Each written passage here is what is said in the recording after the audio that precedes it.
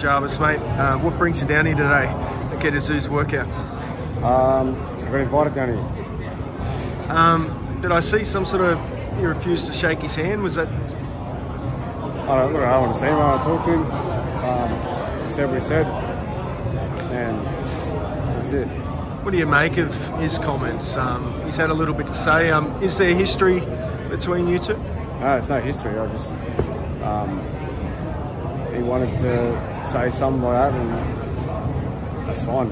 Um, I think it's a good thing actually because I've always, for some reason, I've always thought this fight was going to happen. Even when I was competing at lightweight, I just thought one day oh, this fight was going to was going to happen. So I'm not there yet, but you know, It's starting to build.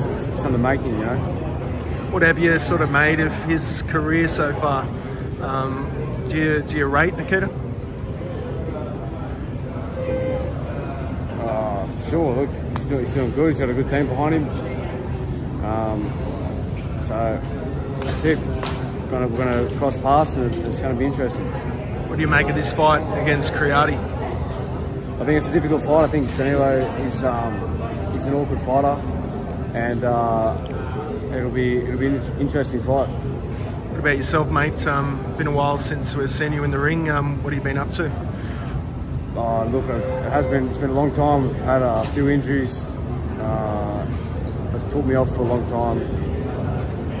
Been working hard at it and getting back in the ring. I'm looking to get back in the ring, and compete. Hopefully, uh, I'm looking at June or July to get back in. And um, campaigning at a higher weight. Um, what sort of thought process uh, behind that? I think I think junior middleweight will be, be a good way for me to compete at. I feel that I'll I'll feel a lot healthier there. It's more my natural weight, uh, so I, I think I'll perform better. Simple as that.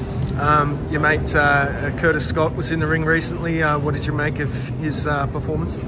Well, his performance was great. Yeah, proved all doubters wrong. Um, beat a 3 0 fighter, 30 kilos weight difference. No, it's everything was against him. So he, um, what he done is, uh, I mean, no one does that. He's on debut. He's never had an amateur fight. So um, I thought what he done was extremely impressive. I don't think he gets enough credit for it, and um, you know, I, I see how hard he works. I Spend a lot of time with him, and he's he's a great athlete, great human. What do you think he should do moving forward? Um, Any particular fights that you think he should There's take? fights out there for him. Um, just, I think just right now, I think he's just got to um, just keep building and get better each day. Uh, yeah, I think I think he can beat beat all these guys. Uh, Curtis Gunn. Did you see um, Tim Tszyu's fight the other week? Um, any comments on that? Um, what do you make of all that? Uh, look, it's a great fight.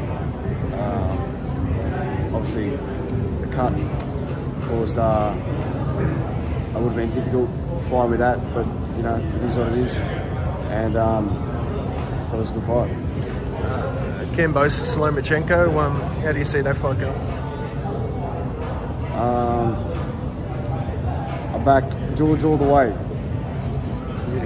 Thanks so much, man.